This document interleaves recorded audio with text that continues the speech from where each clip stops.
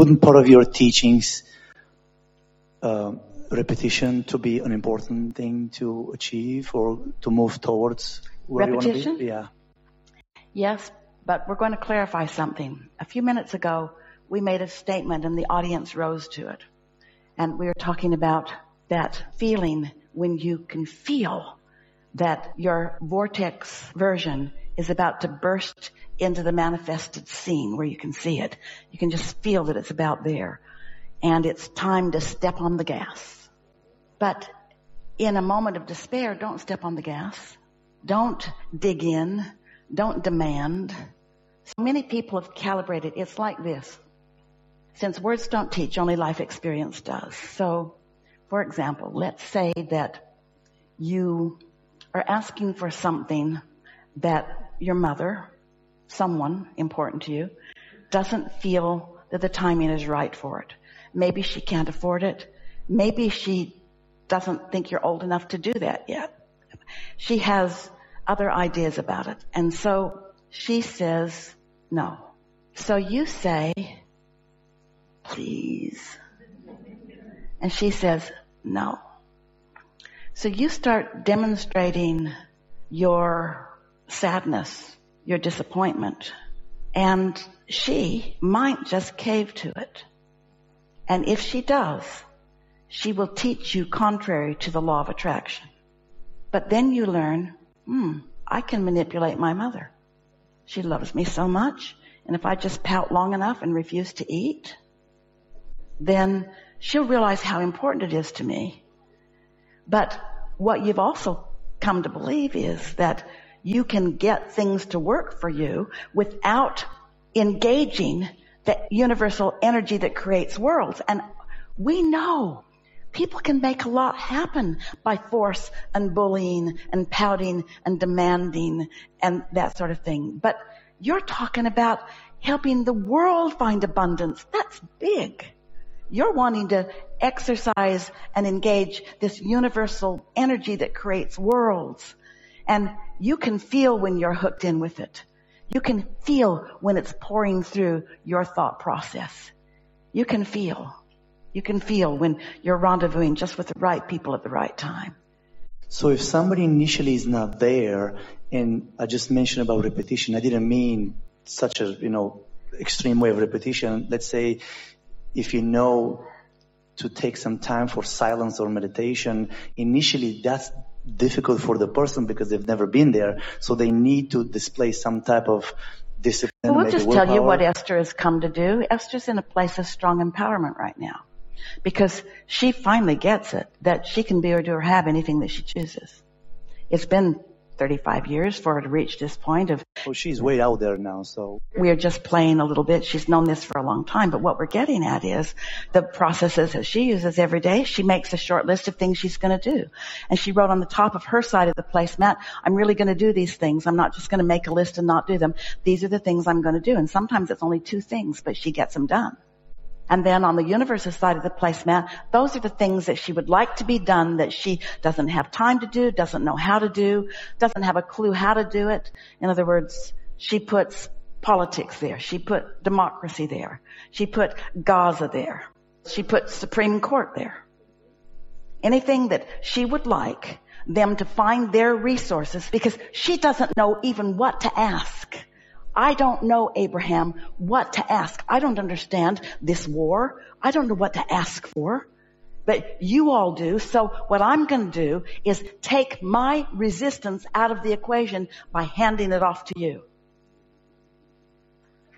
And so as she hands things off to the universe that she couldn't in a million years figure out how to do anyway, she's getting lighter and lighter and lighter and lighter and lighter and lighter so that the things she is choosing for herself just come in easily. So is there such a thing as positive resistance and not always a negative resistance? Just like the repetitions.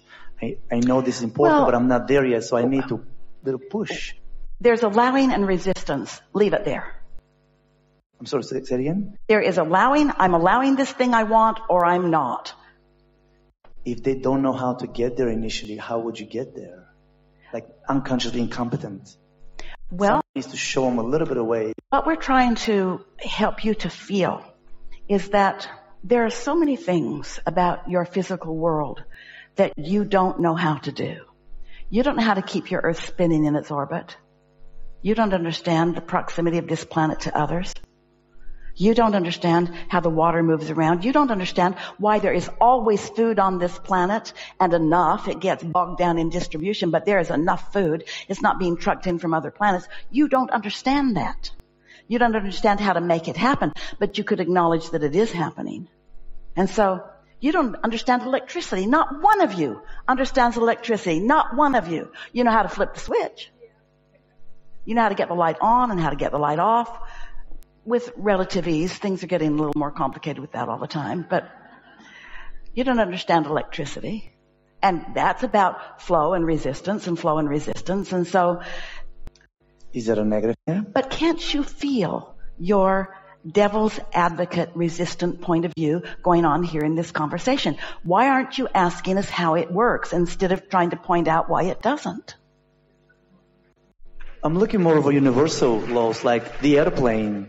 Initially, it- it needs resistance. Once you're up there, it's less resistance. It's not like I'm resisting myself. It's my eagerness to know. Comparing it with universal laws.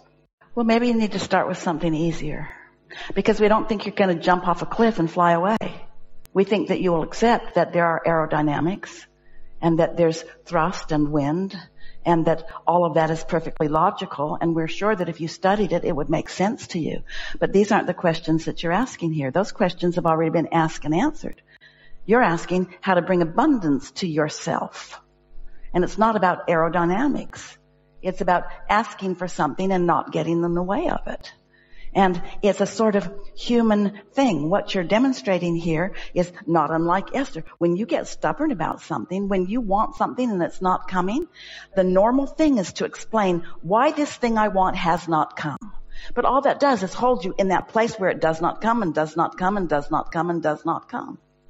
We were on the telephone with someone years ago who was talking to us a bit like this. She wanted a crystal ball. She wanted us to just tell her where to go and what to do and where to meet her lover and all of that. And we said, that's not the work we do. Call someone else. We said, we are teachers that you bring it about by your finding the vibrational frequency that allows it in. So we said, let's talk about something else. Let's talk about blue glass. She didn't want to, but we insisted for over a minute. Let's talk about blue glass. Lots of blue glass, different colors of blue glass, different densities of blue glass. We went on and on and on. She's sighing. she didn't want to hear about it. Then let's talk about feathers. She didn't want to talk about feathers, so we talked about feathers. Feathers, feathers, feathers, all kinds of feathers, turkey feathers, pigeon feathers, bluebirds feathers, all kinds of feathers, big feathers, little feathers, all kinds of feathers. Feathers hats, feather coats, feather everything. She didn't want to talk about feathers, so then we said, well then let's talk about butterflies. She didn't want to talk about butterflies. Big butterflies, little butterflies, yellow butterflies, red butterflies, butterflies that when they butterfly leaves its place, do you know that it migrates and sometimes it's three or four or five generations that get there finally? The butterfly that left isn't even the butterfly that gets there, but they just keep migrating anyway. In other words, we think that's interesting about butterflies. She didn't think that was interesting about butterflies talking about butterflies, butterflies, butterflies, butterflies. We hung up. Jerry and Esther are in California in La Jolla on their way to George's for lunch. They're walking down the road and Esther says, Oh, let's go in here. Let's go in here and let's go in here. Jerry says, I'm so hungry. Let's go eat first. Esther said, please, please, please, please, please come in. They went in and here was a wall of blue glass. Blue glass, more blue glass than exists anywhere else on the planet in one place. A wall of blue glass. Esther did not notice that it was what we had talked about because when we're flowing through her, it's not like she's aware of it. Not like that. So they saw the blue glass. They didn't think much of it. They went on. They had lunch. Then they left George's and they went down to the cove, walked across this big apron of grass and a flurry of butterflies so intense that they had to close their eyes and stop talking so that they didn't eat them with their mouth and their eyes. It was an avalanche of butterflies. Esther still wasn't making any association. And then Jerry said, look at that little boy. What's he up to? And a little boy had picked a feather up off the ground and was running and handed it to Esther.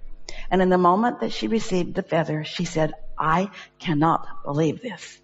Abraham talked about blue glass and butterflies and feathers just an hour ago in that consultation. And because there's no resistance in our vibration about it, because it was active in our vibration, the universe demonstrated it to us. And that's how it works. That's how it works. That's how it works. That's how it works. It's up to you to show yourself that it will work that way for you. And if it doesn't work that way for you, it's because you're saying, I don't believe in blue glass and I don't think there's any butterflies anywhere in San Diego and I've never seen a feather anywhere around here. In other words, you could talk yourself out of letting the most obvious things in if you're stubborn enough about it. So that's why we say start with things that are easy. Start with things that you know you don't have resistance about. Don't start with trying to change the world or doing big things. Show yourself these things. This is what we wish for you to know. You are seen by source energy and by your inner being and everything that you desire is known more infinitely than you have ever been able to articulate. It is known, completely known. And it is known, and because it is known, the law of attraction is responding to the knowing of your inner being about all of those things and why you want them. And the gathering of the cooperative components has already taken place. And there is a vortex vibrational version of everything that you're asking for, whether you're asking for it for yourself or on behalf of someone else. If you could see the vortex version of what's going on on planet Earth today, it would knock your socks off. You just wouldn't believe the intensity with which the billions of you have been and are asking the potential for creation and for solving those problems and giving you what you're asking for is greater than it has ever been. And it doesn't take that many of you to stop asking the questions of why it doesn't work and accept the physics of why it does work and find a way of feeling the vibrational set point that lets it flow for you. But the only way you're going to do it, you're not going to get it from these words. You're not going to get it from these words. You got to have a blue glass butterfly and feather experience of your own. You got to ask for something and see it come. And you've got to felt seen and you've got to felt heard and you've got to felt known and you've got to felt worthy. You've got to feel loved. And when you do, you can be or do or have anything. And stop running around talking to each other, trying to compare your degrees of worthiness. Who's right and who's wrong. There's nothing of that going on. Everybody gets to create what they want and this platform is big enough for all of you to get what you want. And not one of you will be able to step on the toes of any of the other of you. It doesn't work that way. You cannot keep others from thriving, only yourself. Power of your asking is the reason for the power of this answering. This was a really strong thing that you're wanting to know and it dovetailed with what a whole lot of others are wanting to know. And we've given you the answers and it's not complicated. It's easy. You just feel your way there. But you're right. Abraham, how can I come to trust? Well, you just gotta want to. And then something shows up and you say, oh yeah, I get that. Maybe I can do that again and maybe I can do that again and maybe I can do that again. Until you discover that the universe is responsive to you. Manifestation is responsive to you. Energy flow is responsive to you, but it's coming to you. You're not asserting it. You're not commanding it. You're not demanding it. You are focusing, isolating, accomplishing, and being. And then what you be comes to you. This is a really good time. Thank you. For a segment of refreshment. If you like this video, don't forget to subscribe and see you in the next